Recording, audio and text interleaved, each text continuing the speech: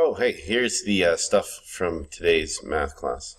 Uh, what we looked at was drawing angles in the standard position, a positive angle, making sure we rotate that way, and a negative angle, rotating this way.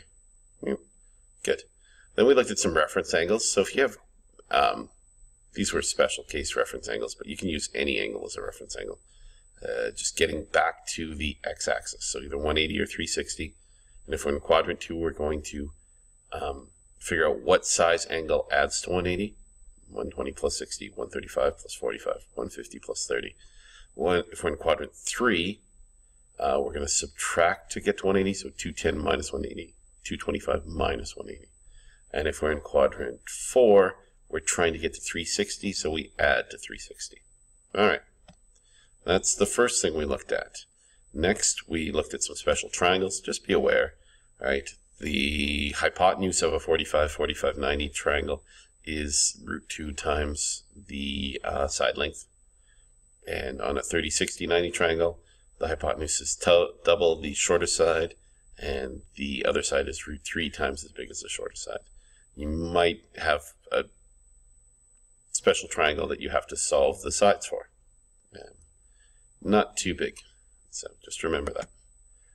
Uh, then we drew an angle that went through the point 724. And we uh, had to find the hypotenuse, which is 7 squared plus 24 squared, square rooted, equals 25. You guys all seem to manage to do that very well. Then we looked at taking the, the trig ratios and finding the angles. And we ran into some confusion where um, sine was giving an angle of 74, while cosine was giving an angle of 106. And because of where we knew this angle was, it's in quadrant 2, and it's here, we knew the angle had to be 106, the 74 being the reference angle.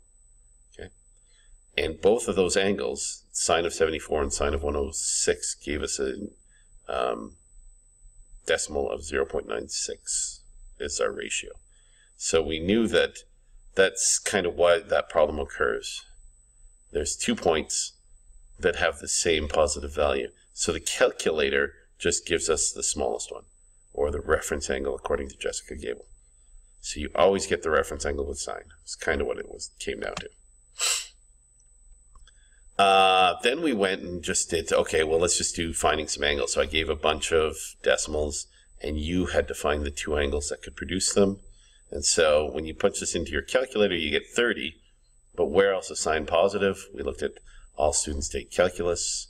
And then we made a little chart about all students make calculus, take calculus to note that, right, um, sine and cosine are positive in here, which makes tangent positive. Uh, sine is positive here, cosine is negative here, and that makes tangent uh, negative because a positive divided by a negative is negative. Uh, two negatives here, positive, and a positive and a negative makes it negative. We also made the reference that um, sine sort of corresponds with our y value. So if we look at our y value, it's above 0 in 1 and 2, below 0 in 3 and 4. Our x's are above 0 in 1 and 4, below 0 in 2 and 3, right? So keeping that in mind, all of that together, then we have shouldn't have too much problem figuring out, right? If I say the reference angle and or find the angle in quadrant 4, and you know, well, sine's negative in quadrant 4, so it'll be 327. That was kind of where that went to. I left the class off with a question that we'll solve next hour. 9, going through the point negative 9 and negative 12. Uh, find what uh, sine, cosine, and tangent value are, and then the angle that produces that. And uh, we'll see what answers you get next hour. Thanks for watching.